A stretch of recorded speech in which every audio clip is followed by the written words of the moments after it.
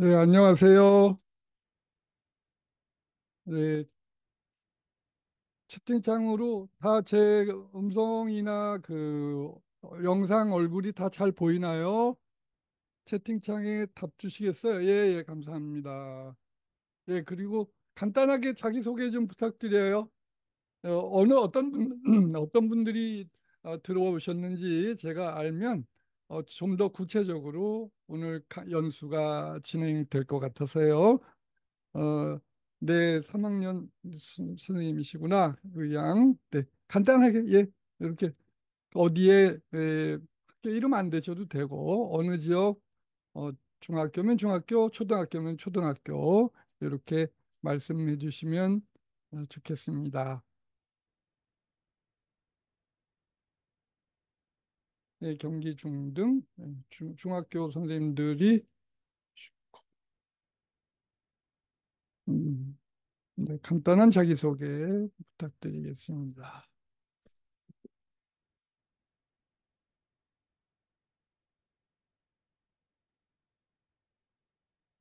네, 경남에서도 오셨네요. 네.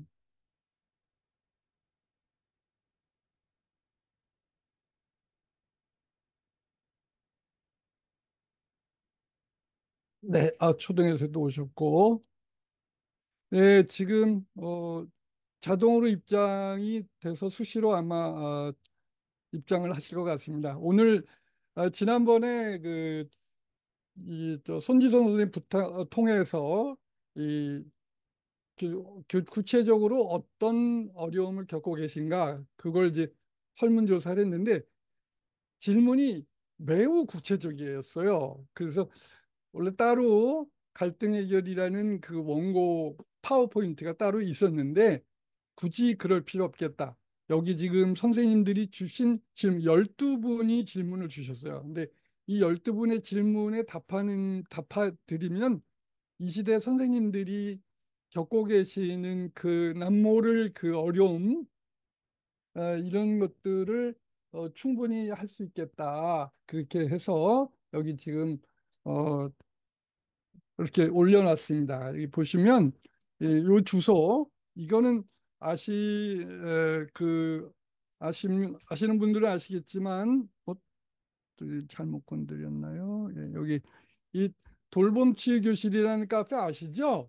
예, 거기에다가 이렇게 해놓은 거예요. 돌봄치 교실 카페입니다. 여기 저는 어, 현직에 있을 때도 그 굳이 파워포인트 만들지 않고 이렇게 글씨를 좀 크게 써서 이거를 저의 칠판으로 썼었습니다. 그요 주소 17938, 요 주소를 어, 기억을 해 놓으시면 어, 여기에 지금 어, 손주선 선생님께 부탁해서 어, 줌 강의를 지금 녹화 중이거든요. 그러면 내일 에, 줌 강의 한 영상도 여기 올려놓을 예정입니다. 자, 그러면 오늘은 동료 간의 갈등 해결 편이다. 처음에는 이제 관리자와의 갈등을 이제 많이 이, 어, 많이 겪으시겠지만 오히려 관리자와의 갈등 부분에 대해서는 이렇게 저렇게 정보를 얻으실 때가 좀 있다. 근데 가만히 들여다보면 오히려 그 동료들 간의 그 갈등도 이게 은근히 이 심각한 경우가 많고 이게 또 어, 비단 교직만 그런 게 아니고 일반 직장인들도 이 빌런이라고 하더라고요. 그 빌런 팀장들이 이 화두예요. 그래서 그 어쩌면 인간의 보편적인 삶의 기술이라 이렇게 에, 생각이 들어요. 그래서 에, 저기 네, 강의 자료 강의 자료 강의 자료가 이거예요. 여기 어, 피 파워포인트를 하지 않고 제가 보여드리면 이해되실 거예요. 네. 음, 왜 커서가 어디 갔어? 여기 있구나.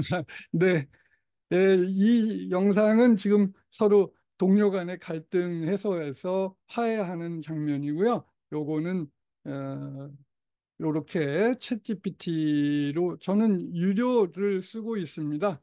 어, 챗GPT 4를 월 20달러 정도를 주고 어, 3만 원 이하겠죠? 그거를 이렇게 요렇게 넣으면 챗GPT가 만들어집니다. 교사 간 갈등을 슬기롭게 해결하고 기분 좋은 악수를 나누는 두 30대 한국, 요 한국이란 말을 꼭 집어넣어요. 그러면 외국인이 나오면 어, 좀 어, 리얼리티가 떨어져서 이렇게 했습니다. 자, 첫 번째 질문입니다. 자, 우리 같이 한번 질문 읽어볼까요? 이 여기 여기서 아 나만 이런 게 아니구나 하는 것을 느끼실 수가 있을 겁니다. 저경력 여교사가 같이 읽어봅니다. 시작. 저경력 여교사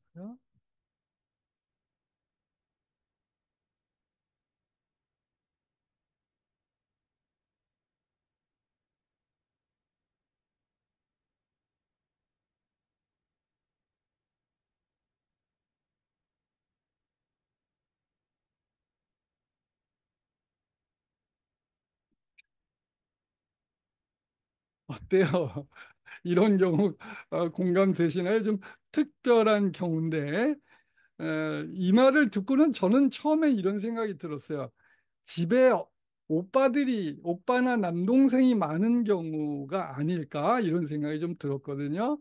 그러면 이 평소에 언어 습관이라는 게 그대로 나와서 그냥 오빠들이 많으면 오빠한테 말 놓잖아요. 왜? 예, 그래서 그런 것이 아닌가 생각이 드는데 어쨌든 그거보다 중요한 거는 이 반말을 그 남교사들에게는 반말하고 여교사들에게는 어려워하는데 근데 좀 뭐 내 손 깐다 뭐 이런 그런 느낌이 좀 드시는 것 같아요. 혹시 어, 그 중간에 어, 그 화면 조절 이런 거 어려운 점이 있으면 음소거 해제하실 수 있도록 해놨으니까 바로 좀 말씀해 주세요. 자, 그런데 어, 갈등 해결의 대원칙, 저, 정말 좀 어이없으실 것 같은데 갈등 해결의 대원칙이 뭐냐면 이, 이게 반말을 하면은 사실은 예의에 벗- 벗어난 거죠. 근데 어쨌든 이분이 여교사에게 반말은 하지 않잖아요. 그러면 나에게 반말 안 하면 굳이 이, 그것을 타내지 않고 그냥 못 본 척 하시면 어떨까?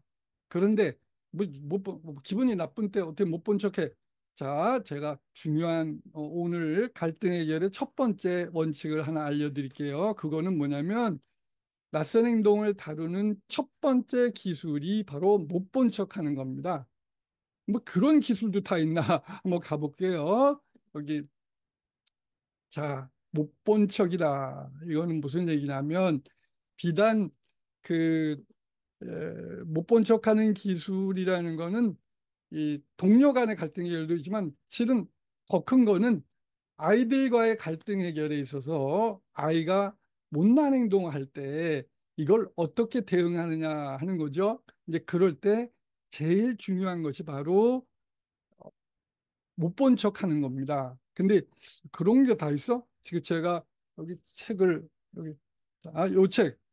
그 훌륭한 교사는 무엇이 다른가라는 그 책을 그 책에는 무려 이 못 본 척하는 능력, 못 본 척하는 솜씨 이게 한 챕터로 나와 있어요. 그만큼 리더십에서 이게 굉장히 중요하다는 뜻입니다. 그- 그냥 우리가 아이들이 뭔가 잘못했을 때 그때그때 지적을 하면 요즘 애들은 요즘 그렇게 말합니다. 지적질이라고 그러죠. 기분이 나빠요, 애들이. 그래서 그럴 때 어, 피해가 주변 사람들에게 큰 피해가 없다면 그 못 본 척 하는 것이 리더십의 첫 번째다라는 거예요. 근데 그건 비단 거기서만 그런 게 아니고 이 제가 조- 좋아하는 책그 훈육 책이 있습니다. 학급 경영에 관한 훈육 책이 있는데 원서예요. 그 책에도 못난 행동을 목격했을 때 첫 번째로 어떻게 해야 하느냐? 첫 번째로 바로 어, ignoring 의도적으로 못 본 척한다는 거예요.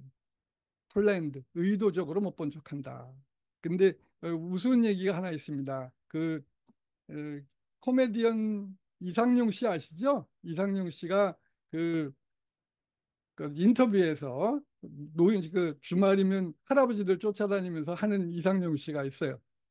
이 양, 이분이 그, 어, 100살 넘어서 사신 할아버지를 인터뷰를 하면서 이, 이상용 씨도 어려움을 좀 겪으셨더라고요. 외국에 또 쫓겨나고 뭐 이런 도피하고 그래서 근데 그, 그, 그 할아버지한테 100살 넘게 사신 할아버지한테 아니 도대체 어떻게 해서 어 그 주변에 그 할아버지를 화나게 하는 사람들도 있었을 텐데 어떻게 그걸 이렇게 이겨내고 오래 사셨습니까? 그랬더니 그때 할아버지가 이러시더랍니다.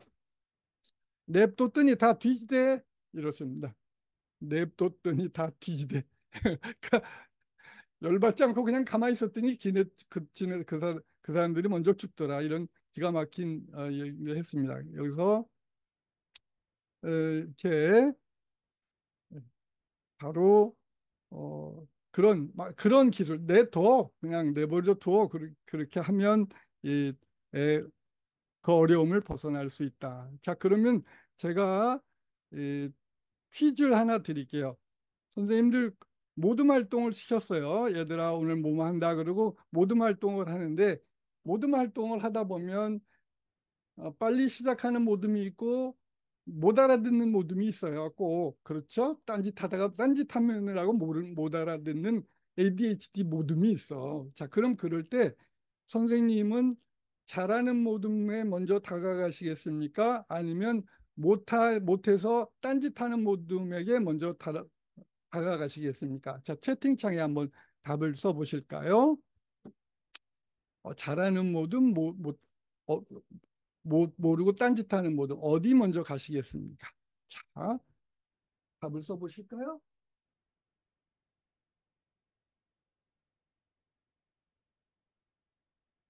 딴짓하는 모든 못하는 모든 어려워하는 모든 못하는 예 지금 한 90%가 못하는 모둠에 먼저 간다 이렇게 말씀을 하셨는데요. 자, 잘, 잘 생각해 보세요. 늘 어느 반이든 못 알아듣고 늦, 늦게 출발하는 애들 반드시 있습니다. 그렇죠? 예, 그럴 때 우리들이 저는 이렇게 의식적으로 잘하는 모둠만 골라서 찾아가요. 교실에. 그러면 가다가 옆에 뻔뻔히 아 얘들아 그 그리고 이제 칭찬을 해줍니다. 얘들아, 얘네들 봐라. 얘네들은 요걸, 요런 아이디어를 냈네. 그렇게 해서 애들 전체에게 보여주고 설명을 합니다. 그리고 또, 그리고 여전히 안 하고 딴짓하는 애들 있어요. 이미 알고 있습니다. 반마다 있어요. 그런데 처음부터 걔네들하고, 걔네들이 다가가면 그 잘하는 애들도 그 시간이 아깝게 놓쳐버리는 수가 있어요. 그래서 의도적으로 걔네들을 살살 피해 갑니다. 이렇게. 잘 피해서 가가지고 잘하는 애들 작품의 특징을 꼭 집어서 이렇게 전체에게 보여주면서 얘들아 이거 봐 이거 괜찮지? 이렇게 칭찬을 해줍니다. 그러면 도미노 아시죠? 칭찬 도미노 그 어차피 그 딴짓하고 이랬던 애들은 여전히 딴짓을 합니다. 못 알아들어요. 그래서 걔네들한테는 아이들이 쭉 이렇게 8, 90%의 아이들이 정상적으로 시작되는 걸 보고서 그 다음에 가가지고 바로 그렇게 지적을 해, 알려줘야 돼요. 구체적으로. 걔네들은 교과서 페이지가 어딘지도 모를 겁니다.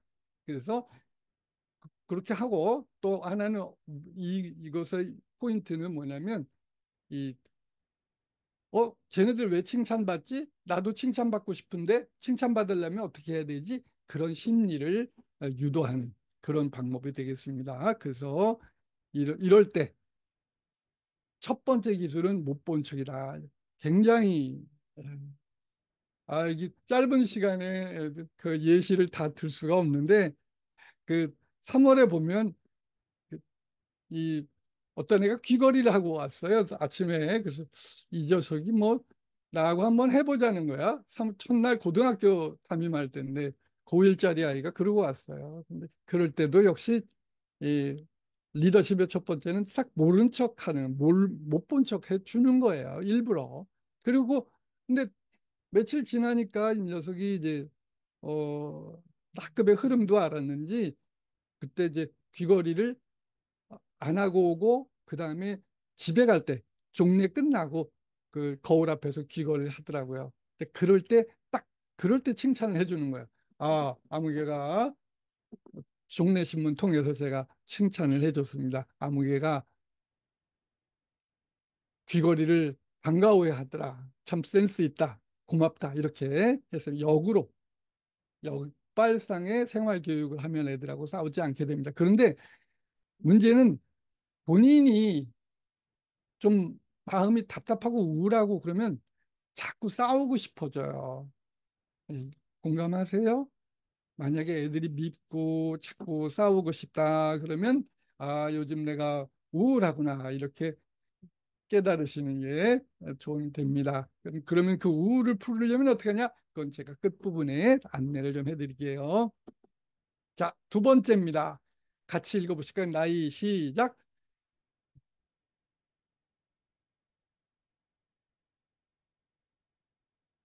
아, 이건 진짜 나이가 예, 연세 좀 50대 정도 되는 선생님이신가 봐요. 근데 나여린 부장이 이런다. 음, 자, 그래 지금 못난 행동은 못본척 한다고 말씀을 드렸습니다. 그런데 첫 번째는 그런데 어, 이 기분이 나빠.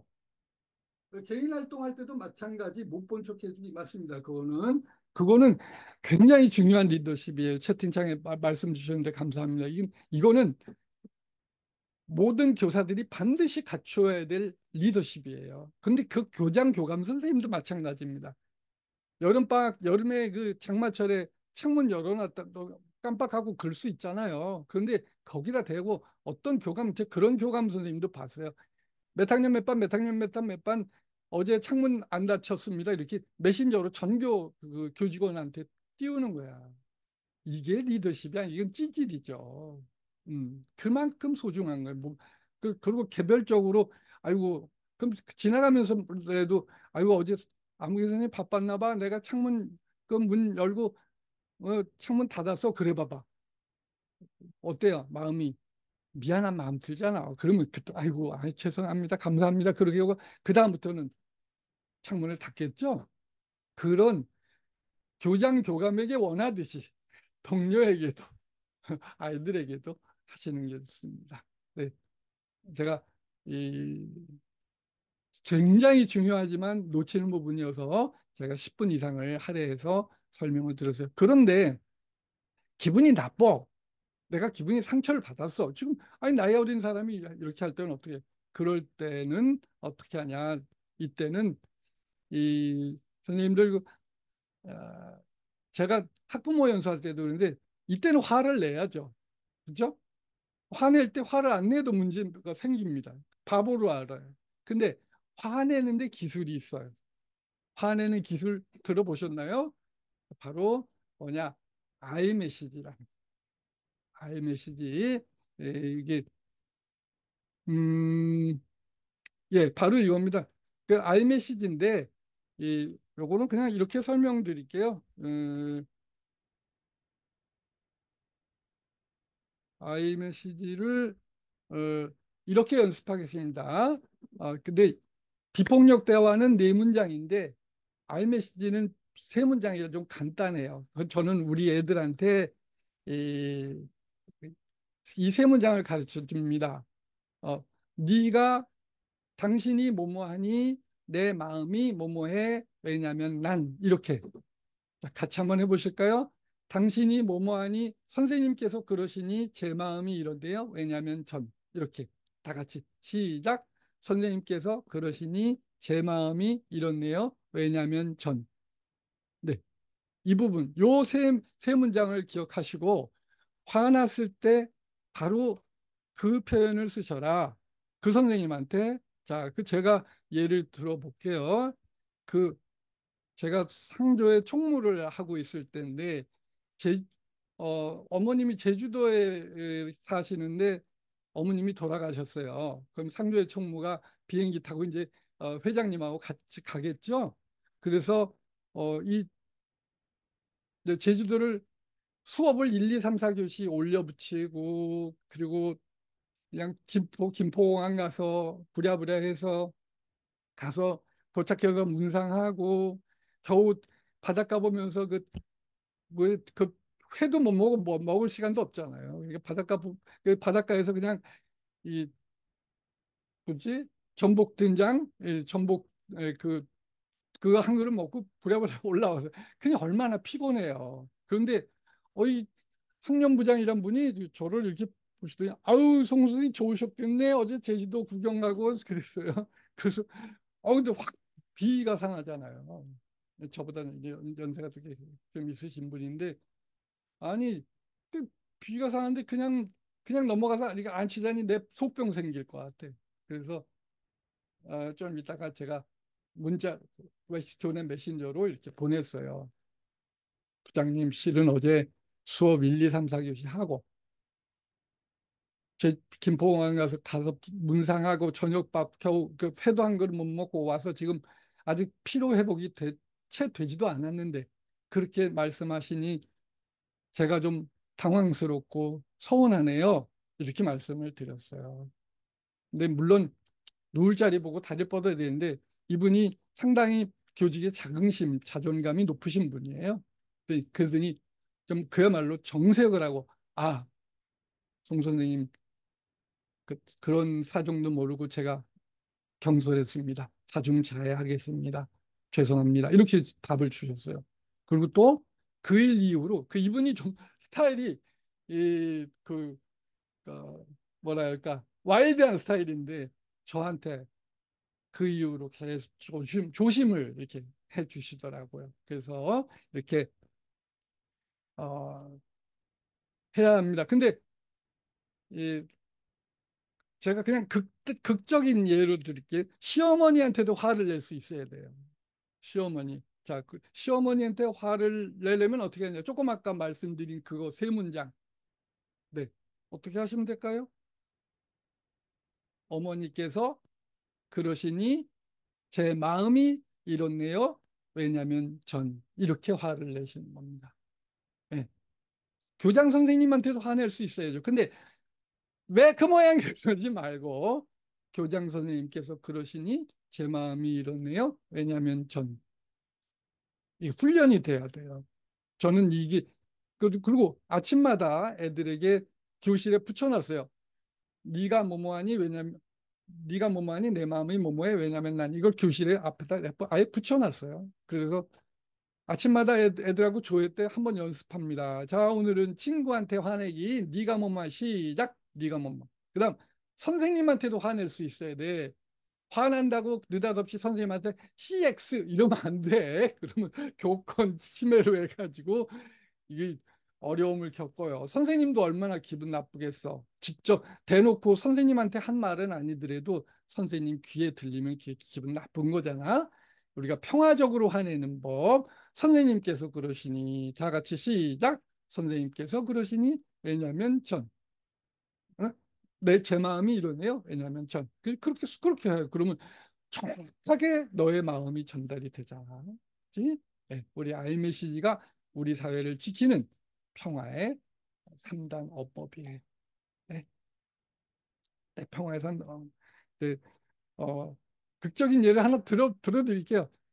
집사람이, 저희 어머니가 치매가 오시고, 이제 저장님 돌아가셨습니다만은, 이, 나이 드시면서 매운 김치를 못 드시는 거예요. 그러니까 이게, 그걸 못, 소화, 그, 매워서 못 드시니까 자꾸 며느리 탓을 하는 거예요. 야, 너는 어떻게 이, 이걸 김치를 이렇게 맵게 담냐 이러시는 거예요. 그러니까 아이 그럼 김치가 맵지. 뭐 어떻게 해도 뭐 어머니께서 그 입맛에 맞지 않으시니까 집사람이 어느 날 이제 아 그래도 꾀가 난 거예요. 아 물김치를 사다 드려야 되겠다 시장 가서 물김치는 하, 백김치 예 그거를 사다 사다 드렸더니 그땐 또 어머니께서 이렇게 보시더니 이게 무슨 김치냐? 어, 역정을 내시는 거예요.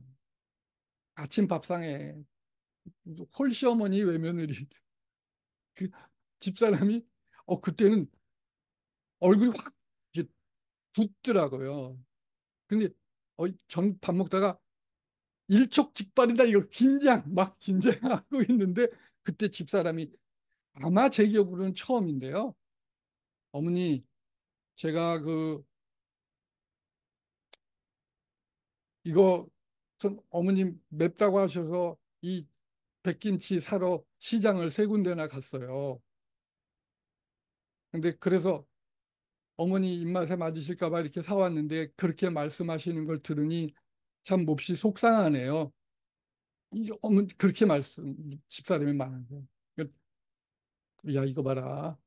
야 이거 상황이 어떻게 어떻게 전개되지? 그런데 어, 네. 오케이.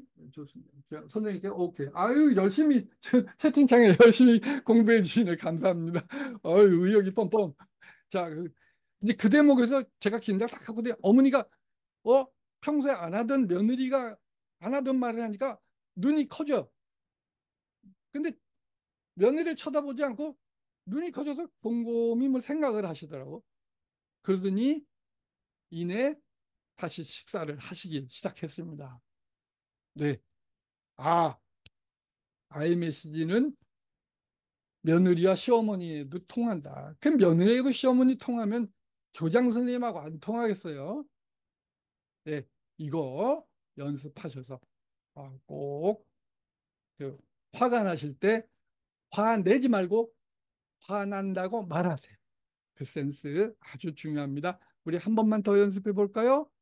교장 선생님께서 그 교감 선생님한테 시 교감 선생님한테 따져 화내는 거야 시작 교감 선생님께서 그러시니 제 마음이 이렇네요. 왜냐하면 어, 근데 지금 이, 이 기술이 아이메시지 이 기술이 우리 애들한테도 그 습관이 돼야 돼요. 남편한테 화내는 거. 그래서 애들이 그래야 평화롭거든요. 그러니까 집에서 또 이제 이걸 습관처럼 저는 한때 숨, 하루 스무 번 이걸 했어요. 발열정자로 써가면서 왜 이것이 우리 사회를 살리는 학교에서 집에서 뭐 이렇게 가지고 그랬더니 우리 딸내미가 그래요. 어느 날 아유 아빠는 파일럿이야. 에이? 아빠가 왜 파일럿이니? 무슨 얘기를 하면 아빠 비행기 태워준다 야. 네. 그러면 우리 딸이라고 못난 행동 안 했겠어요? 당연히 하죠. 그런데 그때 못난 행동할 때 못 본 척 해주고 긍정적인 변화가 있을 때 바로 칭찬해주고 지금 지금처럼 내가 네가 뭐뭐하니 뭐뭐 이렇게 그걸 정확하게 표현. 내가 대학교 들어가더니 외박을 하러 하고 왔어. 바로 얼마나 제가 열받겠어요. 그럴 때 아이 메시지를 정확하게 썼죠. 어떻게 했을까요? 상상에 맡깁니다. 네. 자, 세 번째 넘어갑니다. 아무도 시작. 아무도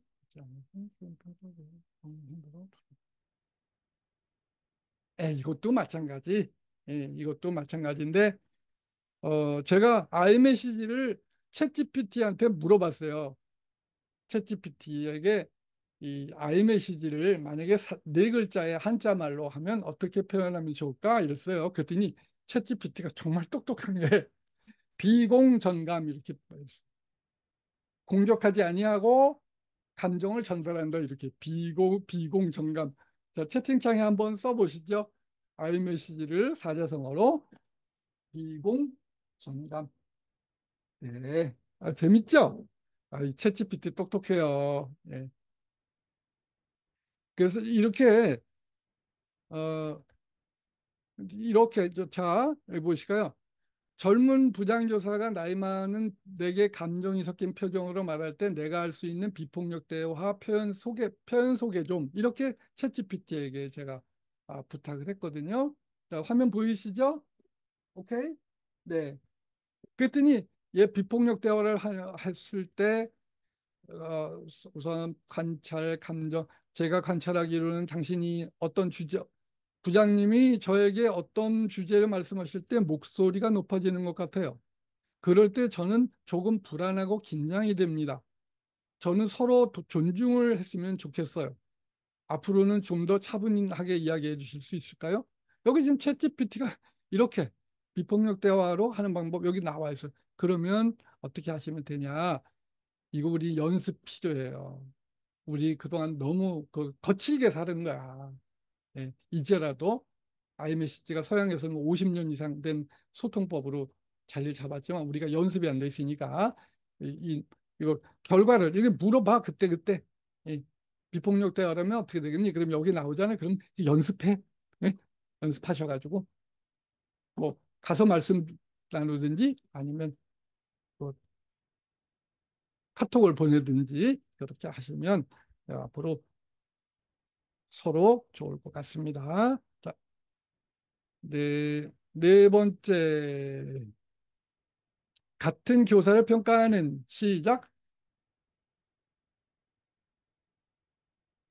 교사를 평가하는 교사가 최악의 교사라고 생각합니다. 동료를 평가하는 교사를 어떻게 생각하시나요? 갈등이 생각하면 어떻게 해결하시나요? 네, 네, 같은.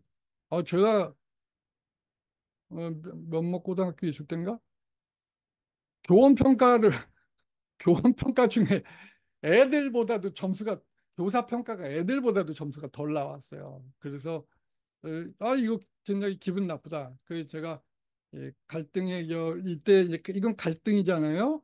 그래서 제가 점잖게 담당자에게 제가 얘기를 했어요. 이번에 교사 평가가 어, 일반 학생들 평가보다 더 낮게 나와서 굉장히 기분이 상했다. 근데 이 그러면서 답, 답, 연구하면 답이 나오는 게 뭐냐면 작년에 했던 사람들을 올해는 내 동료 평가자에 넣지 말아달라. 그릇을 그릇을 바꿔버린 거예요. 그랬더니 담당자가 많이 놀라더라고요. 네, 각별히 유념하겠습니다. 그래서 그 다음에는 뭐 점수가 정상적으로 나왔던 예, 갈등을 연구하면 답이 나온다. 네. 오케이, 다음.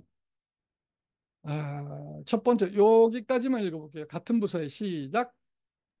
네, 부서의 부장님이 부장의 역할을 하지 않고 부서 일을 부원인 저에게 화가 네, 많이 났습니다. 네, 책임을 네, 지지 않을 네, 거면 네. 부장의 역할을 만들지 않나라는 아이, 생각이 아, 들었습니다. 네, 이게 지금 우리나라 그 웃기는 건데 뭐냐면 그 부장 어, 부장 직무명세표를 학교의 그 직무명세표를 보면 아직도 부장의 직무명세가 딱 한 줄인 사람들이 있어요. 업무 총괄 이렇게. 그럼 업무 총괄이라고 해놓으면 모두의 모든 일을 다 책임질 수도 있고 아무 일도 안 할 수도 있다는 얘기잖아요. 그렇죠? 예. 부장을 로또로 하러 그러면 안 됩니다. 그- 그래서 여기 아, 지금 이렇게 써 있는 경우 이건 삼류 행정입니다. 여기 지금 제 요거 2012년도 제가 생활지도 부장 할 때 생활지도 부장의 그 직무 명세표를 이렇게 했어요.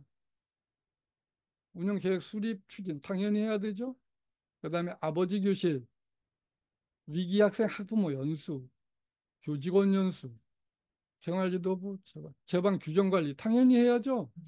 부장이 이 학교폭력 예방제도 계획 수립 추진, 뭐, 특별교육 뭐 이게 지금 몇 개야 도대체? 예. 요거 이, 이럴 때 이제 좋은 방법은 어 학년 말에 그걸 좀 이따가 다시 설명드릴게요. 요거는 부장님 생활 부장님들한테 좀 보내주시면 여기 인터넷 주소 16766 요 주소를 어, 보내주시면 어, 갈등 해결에 관한 연수를 들었는데 에, 이런 그 요즘 질문 분, 요즘 선생님들의 갈등 해결 갈등은 이런 문제랍니다 하고 어, 은, 넌지시 이렇게 예, 문제 제기를 하실 수 있을 겁니다. 자수생, 자퇴생, 추수지도 예, 이런 거를 그냥 업무 총괄이라고 한 문장으로 때려 넣으면 안 된다. 그렇죠? 자, 다음 자신의 시작.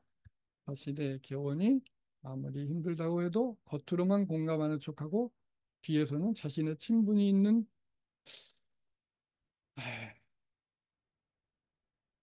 이거는 우리나라의 아주 고질적인 문제인데 이 아무나 팀장이야 아무나 아무나 부장이고 그게 안 되거든요. 제가 우리 아들 회사에서 이제 프로그래머 7년 되니까 아빠가 저 팀장 됐어요 이러더라고요. 그래서 팀장 됐냐? 그러면 요즘은 유튜브에도 리더십에 관한 책, 리더십에 관한 것이 많이 나온다. 그러니까 팀장의 역할에 대해서 네가 공부해야 된다. 그냥 저절로 되는 일은 없다. 이제 부장이라는 건 뭐냐면 이 너 혼자 열심히 하는 때가 지났다는 의미다. 제가 늘 그럽니다. 열심이라는 말은 20대에 쓰는 말이지 30대 들어가면 열심이란 말은 자꾸 잊어버려야 된다. 그건 같이 잘해야 된다. 잘. 그래서 제가 아들에게도 그랬더니 얘가 어, 팀장에 관해서 그 유튜브가 워낙 참, 참 방대한 양이 있으니까 그, 그걸 보고서 공부를 하더라고요. 그랬더니 어느 날 자기들 회식 자리에 있었는데 다른 팀의 팀원이 그렇게 우리 아들에게 그러더랍니다. 아, 저, 저, 저도 팀장님 밑에 있으면 참 좋을 텐데요. 이렇게 말을 하더랍니다. 그거는 저절로 되는 게 아니죠. 리더십에 대해서 공부를 한 거죠. 저도 이렇게 우리나라에서 부장의 리더십에 관한 그런, 그런 책 자체가 없어요.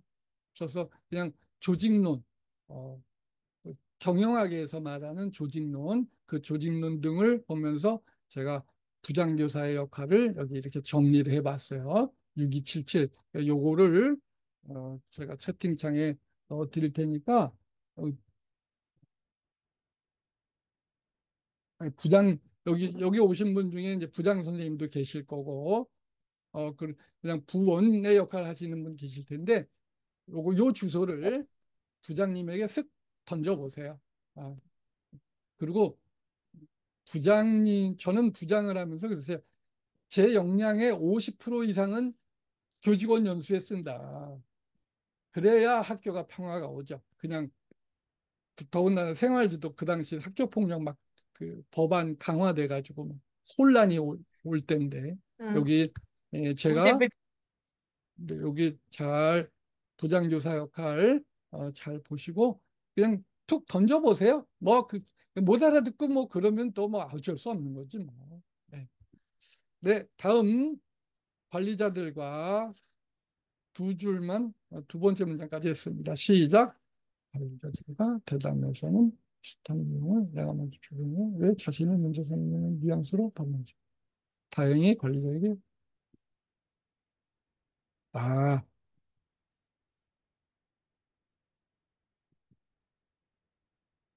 아 여기 이게 지금 이런 남에게 미안하다는 말 하는 걸 본 적이 없다.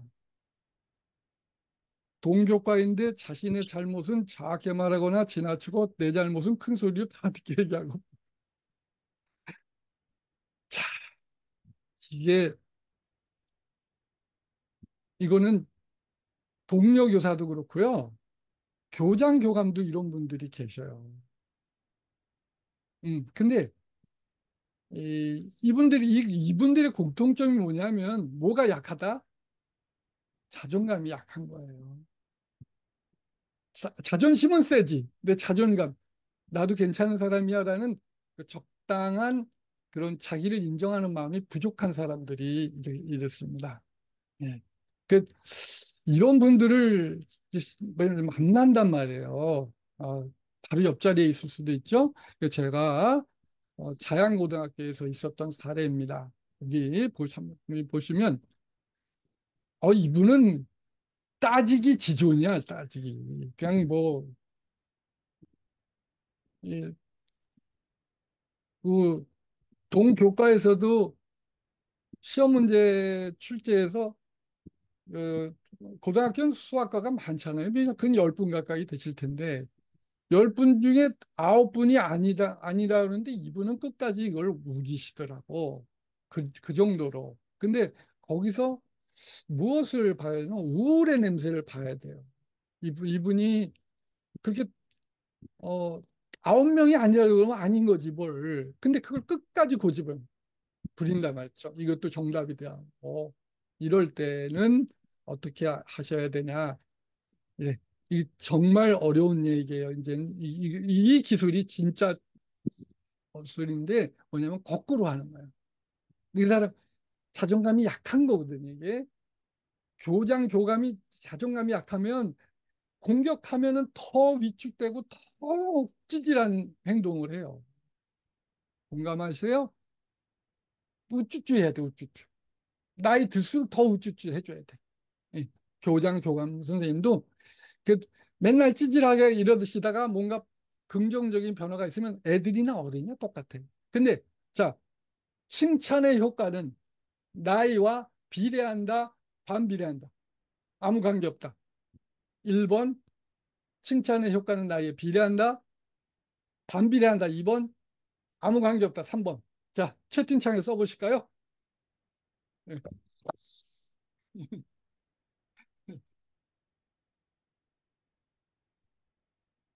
1번과 3번이 비슷해. 3번 아무 관계 없다? 아하. 아, 출제 의도를 보셔야지. 아유, 재밌다. 특히 자존감이 약한 분들한테는 칭찬이 보약이에요. 에이, 그러니까 우쭈쭈를 근데 이게 아부하고 이게, 이게 맞아떨어지지 이게 이게 아버지 칭찬과 격려인지 이게 헷갈리죠. 어. 그러니까 한 번은 그런 적이 있어요. 자연고등학교에서 3월 4일 날 이제 선후배가 상견례를 하는데 눈이 오고도 운동량이 질어가지고 애들이 막 신발이 신발이 다 막 엉망진창이 되고 그런 상황인데 교장 선생님께서 그날 상견례 인사말을 한 2분 만에 끝내셨어요. 2분? 그러니까 애들이 운동장에서 막 박수를 쳤어. 근데 애들, 애들은 그건 어, 이, 한 10분은 할 줄 알았는데 2분 만에 끝나니까 애들이 얼마나 반가워, 고맙고 반가워, 박수 쳤거든. 그랬더니 교장 선생님 당황하시더라고. 뭐 하는, 뭐 하는 행동들이야. 그리고 막 역정을 내시는 거야. 그래서 진, 사태 파악이 안 되신 거지. 제가 그때 교장 선생님한테 카톡으로 보냈어요. 오늘 아침에 운동장에서 잔잔한 감동이 있었습니다. 교장 선생님께서 한 10분쯤 말씀하실 줄 알았는데 불과 2분 만에 끝나니까 애들이 너무너무 좋았어요. 그래서 박수 친 겁니다. 제가 그렇게 보냈어요. 그랬더니 그 일을, 그 일에 대해서 더 이상 문제 삼지 않으셨어요. 그리고 그 더 중요한 거, 그 일 이후에 교장 선생님의 훈화 말씀은 길어졌을까요? 짧아졌을까요? 오케이. 맞았어요. 어, 네, 짧아졌어요. 자, 그렇다면 칭찬의 효과는 나이와 비례한다. 아무 관계 없다. 어떠세요? 네. 사람들이 저를 이상하게 봅니다. 네. 그 뒤로도 그분이 저를 뒤통수 치는 일이 발생했습니다. 아이, 그 치유의 과정이라고 봐야지. 이혼 가정의 자녀가 선생님이 잘해주려고 해도 잘해준다고 해주는데도 마음을 물, 마음의 문을 열지 않는 경우가 있어요. 그럴 때 얘는 왜 이래 도대체 이렇게 까칠해? 응? 내가 이 정도 하면 좀 마음을 열어야 되는 거야? 아니야? 이런 생각하실 수 있거든요. 그런데 우울의 깊이는 알 수가 없어요. 그 사람이 겪고 있는 우울의 깊이를 도저히 알 방법이 없습니다. 예, 그냥 걔는 그런 거야. 우리 엄마, 우리 아빠도 나 사랑한다고 그러고 살아가 버렸잖아. 당신도 나 사랑한다고 도와준다고 그러고 나한테, 나한테서 사라질 수 있잖아. 그러니까 얘는 그것이 겁이 나요. 그래서 방패막을 치고 있는 겁니다. 네. 그래서 예, 치유, 치유의 과정. 그리고 나 만나서 1년 만에 사람이 바뀌겠어요? 그 사람의 우울의 깊이를 알 수가 없기 때문에 이제 참 이게 지금 중간이라 참 말씀을 못 드리는데 이상한 짓 하는 동료들은 100%, 몇 프로? 100% 우울이에요. 네, 제 경험이 35년 동안 교직에 있어서 경험이 그렇습니다. 제가 면목고등학교에서 생활지도부장 하다가 학교 안에서 갈등 해결에 실패를 했어요. 그리고서 제가 그 학교를, 그 학교에 있기가 싫은 거예요. 그 사람들하고. 그래서, 그래서 그 학교를 뜨려고 하는데 가장 쉬운 방법이 뭐겠어요? 중학교로 가버리는 거죠. 그래서 제가 면목고등학교 있다가 천호중학교로 간 겁니다. 더 이상 보기 싫어서. 그런데 나중에서 알고 있어. 그때 나, 나를 공격했던 그 친구, 응? 나중에 이제 전화가 왔어요. 몇 번을 전화했는데 제가 안 받았지. 그러다 세 번인가 와서, 에이, 몇 달 지나고 그래서 전화 받았더니 자기 속 얘기를 하는 거예요. 송 선생님, 사실은 집안에 여차여차한 일이 있고, 저는 제 신체적으로 어떤 변화가 있고, 그런 얘기를 하는 거야. 그 저도 깜짝 놀랐어요. 아, 아, 그 정도면 우울할 수밖에 없었겠구나, 생각이 든 거죠. 그래서, 아, 그래, 내가 잘 참고 내가 또 일 잘했구나. 그래서 우리가 누군가로부터 이렇게 지금 선생님 말씀처럼 공격을 받는, 받을 때 그냥 좀 상처 받으시고 내가 사람 하나 살린다 생각하시고 그러면 복 받으실 거다. 네. 근데 때린 놈은 공격한 놈은 불편하지만 맞은 사람은 괜찮아. 시간 지나면 아물거든요. 네. 네. 질문 참 좋죠? 네. 아, 요건, 요거는, 요건 비교적 쉬운 얘기인데, 자, 여기. 동일학년 시작. 동일학년 지도교사와 교수학습평가 방법의 3. 자기가 있을 때 실제 방향은 연결되는 부분. 이거는 이렇게 보셔야 됩니다. 이, 어, 교수 학습법은 다를 수 있어요. 창의적으로 바꿀 수 있죠. 그런데 초등 선생님하고 중등 선생님하고 가장 큰 차이가 뭐냐면 초등 선생님들은 교육과정 협의를 엄청나게 합니다. 그, 그 축이 뭐예요? 교사용 지도서입니다. 그런데 중등에서 선생님들 교사용 지도서는 부, 교과서와 교과서와 교사용 지도서는 둘 다 교과용 도서에 포함이 되는 거예요. 얘는 교사용 지도서는 법적인 지위가 있어요. 왜? 그게 있어야 이 교육과정이 제대로 이렇게 진행이 될 거 아니에요. 그래서 이 실제 관련한 협의를 음, 여기서 이렇게 하는 겁니다. 여기 이 어? 네.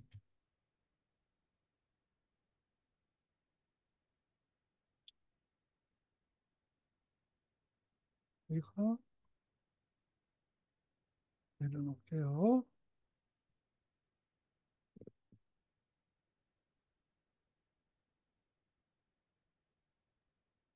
음, 교과서를 여러 명이 수업할 때는 이 그 기준을 수업과 출제의 기준을 어디서 둬야 된다? 교사용 지도서에 둬야 됩니다. 특히 이제 에, 요즘은 에, 어, 기간 휴직도 이제 뭐 자율연수 휴직도 있고 해서 어, 다양한 휴직 형태가 있잖아요. 근데 다양한 휴직 형태를 기간제나 시간 강사님이 오셔서 저 파트너들이 뭐 연중에도 바뀐단 말이에요. 그럴 때 우리가 어떻게 해야 되느냐? 바로 이 출제 기준은 어디다 둔다? 교사용 지도서에 둔다. 그러니까 가령 어떤 영역이 있을 때 그것보다 쉽게 내고 어렵, 어렵게 내는데 문 난이도의 차이는 있을지언정 교사용 지도서에 언급되지 않는 것은 출제하지 않는다. 그거를 교사 협의회에서 아예 문자로 명기를 해놓은 거예요. 이게 여기 보시면 에, 여기 이게 이제 교과 협의록입니다. 제가 자양 뭐 있을 때 예, 출제는 제출 마감 일주일 전에 완료하여 충분한 교과 협의를 통해 출제 오류가 발생하지 않는다. 어, 그리고 교사용 어, 그 예비 문제란 요거는 뭐냐면 요건 좀 이따가 또 다른 선생님이 질문을 주셨어요. 어느 분이 시험 낼 때만 되면 그렇게 그냥 세월을 세월아 내월아 해가지고 어, 어려움을 겪게 한다고 그러시는데 요 요렇게 제출 마감 일주일 전에 완료하여 충분히 교과 협의를 할 수 있도록 한다는 거 요거 그다음에 두 번째는 이 출제 원칙 어, 물론 형식적으로 우리가 문제를 내, 내잖아요. 그런데 이거를 아예 명문화해서 여분의 두 문장을 출제하고 그리고 그런 얘기들 누군가가 문제 제기를 하면 더 이상 그 문제는 내린다. 그 원칙을 정해놨어요. 여기 하나는 교사용 지도서 얘기도 여기 했습니다. 출제는 여기 보시면 여기 있습니다. 자, 요거 복사해서 드릴게요. 교과 협의회에 아예 원칙을 정해놨습니다. 제가 채팅창에 붙여 넣어 드릴게요. 갈등을 예비 갈등을 어, 예방할 수 있는 예. 출, 마, 마감 일주일 전에 예. 출제는 어디에 기반을 둔다? 예. 그러니까 기간제나 시간 강사 선생님이 오셔도 선생님 출제 기준은 교사용 지도서입니다. 미리 이렇게 아예 명문화 시킨 거예요. 어때요? 어, 자, 1, 2, 3, 4번 중에 어떤 게 제일 마음에 드시나요? 자, 세팅창에다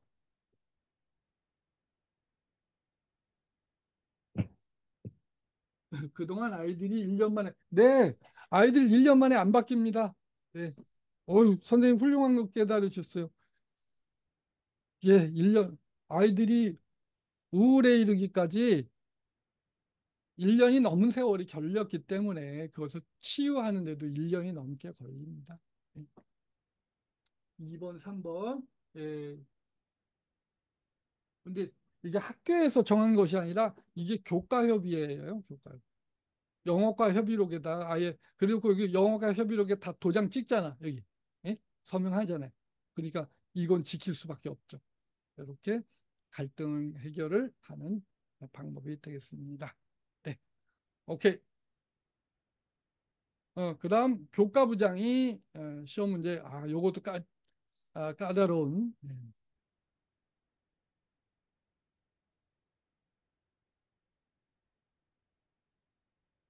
네, 우선은 이게 지금 재량권이 없는데 교과부장이 이 우선은 만약에 교과부장이 직무에 그게 있다. 교과부장이 이 이러이러한 역할을 하도록 돼 있다. 그러면 뭐 할 수 있는 거죠. 그런데 자기가 그런 권리도 없는데 교과부장이 미주알 고주알 이런다는 거잖아요. 그럴 때는 첫 번째는 직무에 포함되어 있는지 확인하시고 그렇지 않으면 질문하세요. 교감 선생님한테 그 차 상급자. 네. 차상급자 이제 교감이 되겠죠. 그럼 교감 선생님, 교감 선생님, 교과 부장님이 이렇게 이렇게 하시는데 이게 예, 지금 직무 명세 표현도 있지 않고 또 다른 교과 다른 교과라고 그러지 말고 구체적으로 예, 영어과 수학과 국어과는 이런 일을 안 하는데 저 부장님만 이렇게 하십니다. 그래서 어, 제가 자존심 상하고 속상합니다. 이렇게 말씀을 근데 이거는 합당한 일인가요?라고 교장 선생, 교감 선생님한테 질문을 하시면 되겠습니다. 네, 2번, 3번 해주셨네. 네, 그 다음에 요거 예, 질문. 예, 제가 여기 지금 교감 선생님한테 이 질문이라는 말을 했는데 이 질문이라는 표현이 뭐합니다. 자, 국회의원이 정부의 대절, 대정부 뭐 합니까? 국회의원이 하는 게 질문이에요. 교감 선생님한테 민원도 그렇고 이게 다 질문이거든요. 이게 맞느냐 아우르냐. 그러니까 교감 선생님한테 교감 선생님 이게 맞는 일인가요? 교감 선생님께서 해석해 주세요라고 요청을 하시면 되겠습니다. 네, 거기 또 늘 당사자 간의 문제가 있으면 그것이 쉽게 풀리지 않으면 차상급자 교장과 교감에게 조정을 요청하세요. 그러려고 있는 겁니다. 교장, 교감이란 제도 자체가. 네, 어, 그 다음 공정함을 주장하고 본인은 매 유동적인 원칙으로 이게 뭐냐?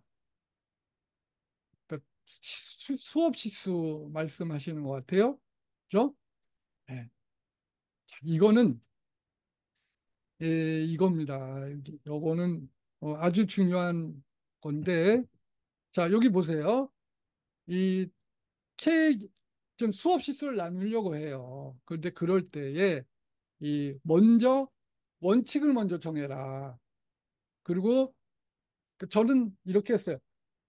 에, 제가 어, 올해도 해마다 교과주임, 교과주임이라는 게 우리나라에서 교과주임이라는 게 참 애매한 존재죠. 혜택은 하나도 없어. 그렇죠? 네. 네.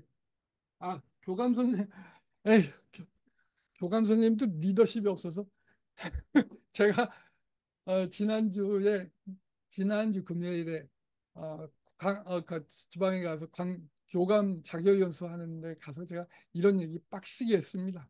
예. 이거 교감이라는 존재가 어떤 존재여야 하는가 그런 얘기를 했었는데 예. 아, 우리는 리더십 교육이 너무 안 돼 있어요. 아, 훌륭한 교장은 무엇이다른가 제가 쓴 번역한 책 어, 선물해 드리는 건 어떨까 싶기도 하네요. 자, 여기서 뭐냐면 이럴 때 이 케이크를 예, 한 사람 이- 이럴 때 케이크를 이걸 어떻게 자르겠어요? 예, 그럴 때는 이런 룰이 있습니다. 협상의 원칙에 네가 잘라 선택은 내가 할게 이런 겁니다. You divide, I select. 반대일 수도 있죠. 어, 내가 내가 자를게. 내가 이 타이거를 자를게. 선택은 네가 먼저 해. 이렇게 하는 거예요. 어때요? 솔로몬의 지혜 같지 않나요? 제가 이 바로 이 방법으로 교과주임의 갈등을 해결한 게 왜 교과주임은 일은 많어? 뭐 교과 협의회 다 해서 도장 다 받으러 다녀야 돼. 그, 그 당시에. 근데 일은 이렇게 많고 어 혜택은 없어. 그러니까 우리 그러지 말고 실수 나누기 전에 그런 거예요. 교과 주임하고 공개 수업할 사람, 수업 공개할 사람, 이 두 사람은 누가 되든지 수업 실수를 하나씩 빼줄 수 있도록 최대한 노력하자. 실제로 그거 쉽지 않잖아요. 한 시간 빼는 거. 그런데 어쨌든 그렇게 노력을 하는 게 어떻겠냐고 교과협의회에서 원칙을 이렇게 정했어. 응. 그랬더니 어떻게 했어요? 예? 예. 아, 물론 나이 드신 분은 불만이지. 그럼 이게 내가 나는 어릴 때 고생했는데 이제 그래서 불만을 표시하기도 하지만 그러나 대의 명분 때문에 밀려서 그 원칙을 정해줬고 교과 주- 주임 한 시간 빼주고 수업 공개하는 사람 한 시간 빼줬던 그런 어, 그렇게 그렇게 해마다 이렇게 진행을 했습니다. 그래서 처음 들어보시는 신선한 얘기 아닌가요? 예, 이렇게 예, 하시면 됐습니다. 예, 시- 아까 그 시험 문제 출제 시테크 너무 꾸물꾸물돼서 이런 거는 교과 회비에서 시한 시- 시한 지키지 않으면 벌금 10만 원 이렇게 하든지 이렇게 하시면 되겠습니다. 음, 여기 아 여기 있네요. 아, 여기 제가 이렇게 예. 그 다음에 업무 요청 사항이 반영되지 않을 때 요거 이제 오늘 오늘의 마지막인데 이 어, 올 제가 어, 요청한 것 중에 이제 어, 시- 옳다고 세상이 바뀌는 것이 아니라 옳되 구체적이어야 한다. 구체적. 옳구나 법칙. 그래서 어, 선생님들께서 예, 교감 교장 선생님 혹은 다른 분들한테 요청을 하실 때 그 다른 학교는 이렇게 한다 그러면 아무도 안 들어요. 교장 교감 선생님도 안 들어요. 동료 교사도 안 들어. 이게 적어도 세 번의 건수가 있어야 돼. 어느 중, 어느 중, 어느 중. 어느 초등학교 같으면 어디초, 어디초, 어디초. 세 학교. 이, 그, 저. 네? 세 학교. 이세 학교는 이렇게 한다는데 우리도 이렇게 하면 안 될까요? 이렇게 제안을 해보시는 겁니다. 자, 예를 들면 어, 수능 감독하는 다음날 학교 수업인가요? 아닌가요? 재량 수업. 그 채팅창에 써주시겠어요? 수능 다음날?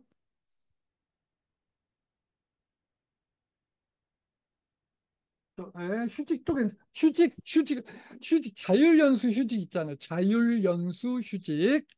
네. 자율연수 휴직.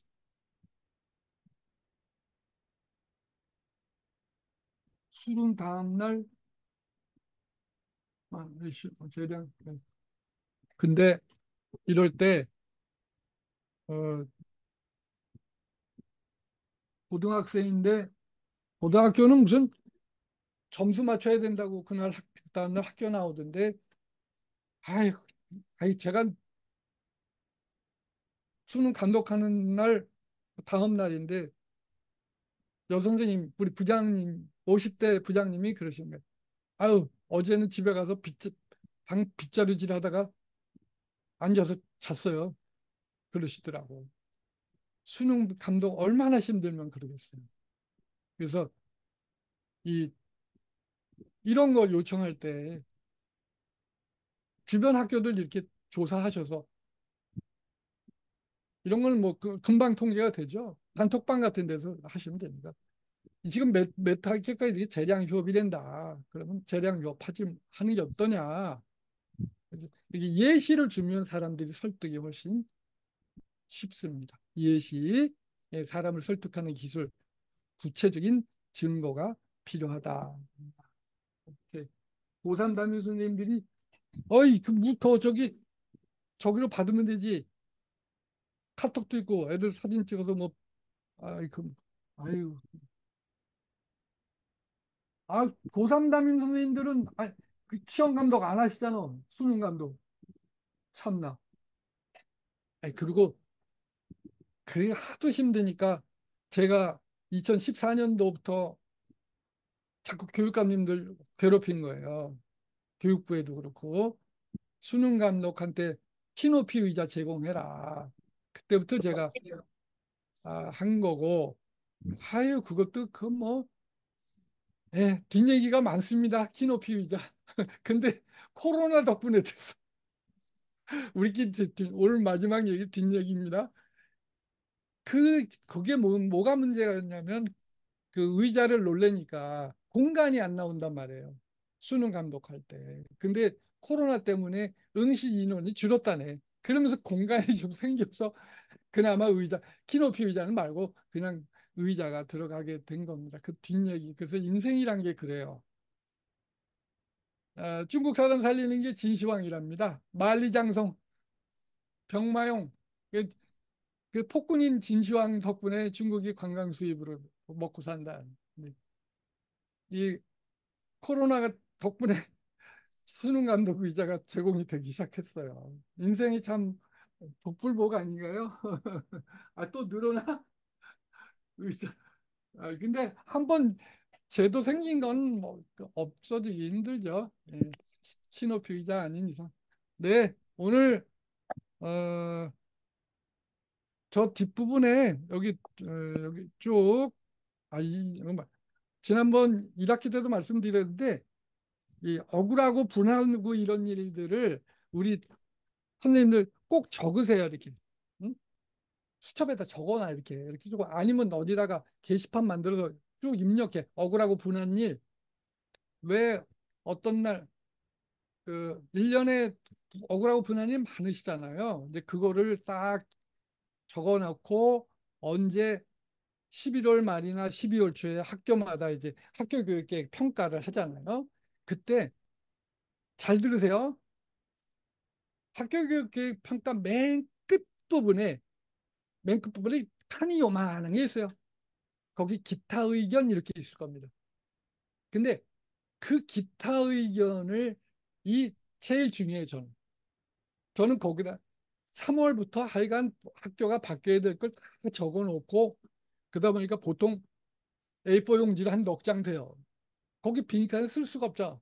그러니까 그냥 기타 의견은 별첨합니다. 그래가지고 이 파일을 보내버려요. 연구부 평가 담당 선생님한테 그러면서 본 그때 포인트 미리 그거를 친한 선생님들한테 딱 보내는 거예요. 내가 교육계획 평가에 기타 의견에 이러이러이러한 의견을 낼 거거든요. 근데 혹시 이 설문이란 게 어차피 숫자가 중요하니까 여기 동, 동의하시면 꼭 기타 의견에 써서 내주시면 고맙겠습니다. 이렇게 하시는 거야. 그러면 설문조사가 나오면 이 한 명 있으면 무시당해요.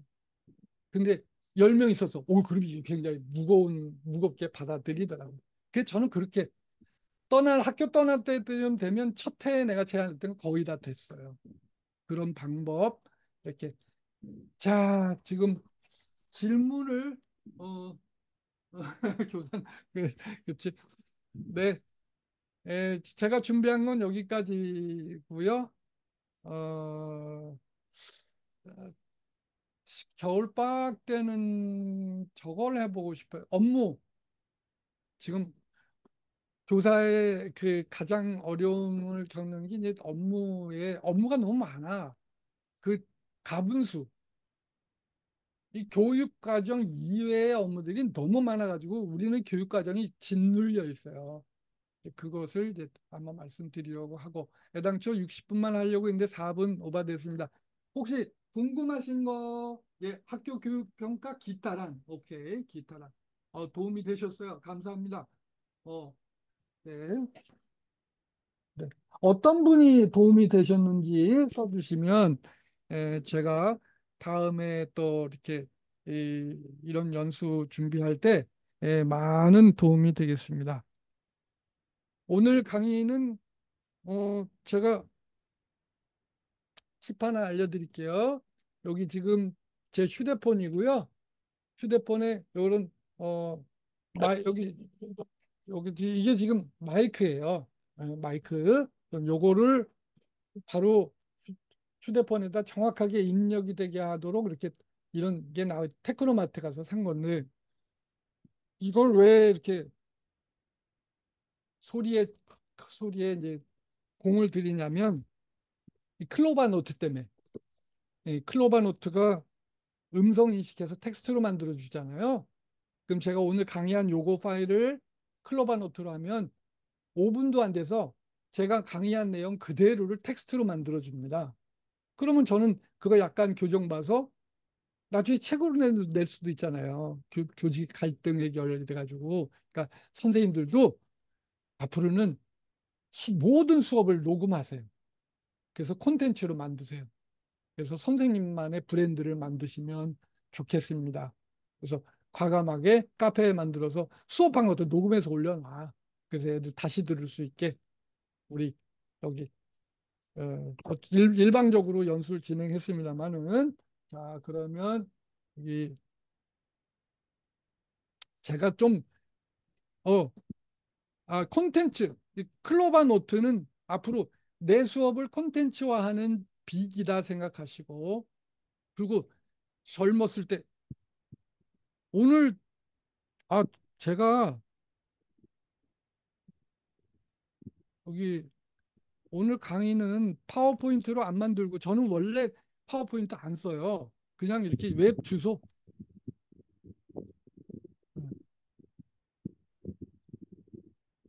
여기 이 주소예요. 이 주소 여기에 있습니다. 강의자 파워포인트 없습니다. 예, 여기 들어가시면 오늘 수업하신 그 화면 그대로 있습니다. 저는 그 학교에 있을 때도 파워포인트 안 썼어요. 안 써요. 애들 파워포인트 내려받는 거 싫어하잖아요. 그냥 한꺼번에 보여야지. 예, 클릭해서 애들이 시험 공부할 때 제가 만들어 놓은 교과서를 시험 공부할 때 제일 많이 시험 전날 제일 많이 들어왔어요. 파워포인트는 애들 데이터 쓰기 때문에 애들 안 봐요. 특수인데 특수학급이 두 개예요. 옆반생과 교육관 차이가 있어서 힘든 점이 있는데 선생님 목소리만으로도 위안이 됩니다. 네, 아유 감사해요.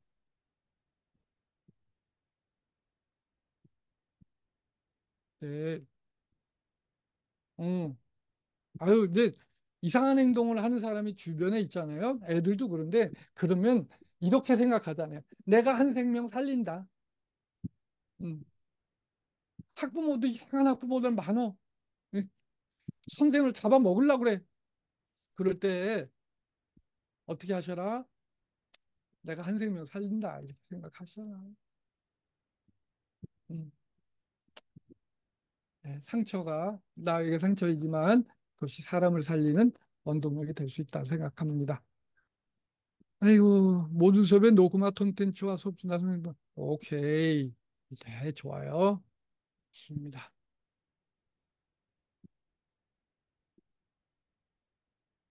아 그래요 우울입니다. 모든 낯선 행동 우울이에요. 음. 단연코 제가 하도 이제 우울 얘기를 많이 했지. 그랬더니 초등학교 교사인 집사람이 당신은 무슨 우울 환원증 같아? 그러더라고요. 이것도 우울, 저것도 우울, 애들도 우울, 엄마도 우울, 선생님도 우울, 교장도 우울. 그랬더니 근데 그러더니 1년쯤 지났어요. 근데 근데 가만히 지내보니까 당신 말이 맞는 것 같아? 그러더라고요. 우울입니다. 음, 어여삐 여겨주세요. 네. 아유, 네. 네. 어디에? 아, 이 교육 교육과정, 아, 교육 교육계획 학교 교육계획 평가 12월 달에 하는 거. 학교 교육계획 평가 그때 12월 달에 하는 거 거기다가 네, 여기는 학교 교육계획 평가 기타란입니다. 네. 네. 아, 제, 제 카톡은 아시나요? 이제 예, 선생님들 나가셔야 되니까 제 카톡 아이디 ICTSONG입니다. ICTSONG 이어지는 질문은 선생님들 나가셔야 되니까 예, 여기로 해주시면 고맙겠습니다. 열심히 참여해 주셔서 감사합니다. 아유, 이제 후기를 이렇게 또 아이고, 아이고 기분 좋아. 아유, 예, 점심을 맛있는 거 드세요. 저는 보람 있는 일을 했, 했을 때는 저 자신에게 최고의 식사를 대접합니다. 예, 저 자신에게 상을 주거든요. 네, 선생님들께서도 오늘 점심 맛있는 거 냉면을 한걸 먹어볼까? 아, 클로바에 무료입니다. 무료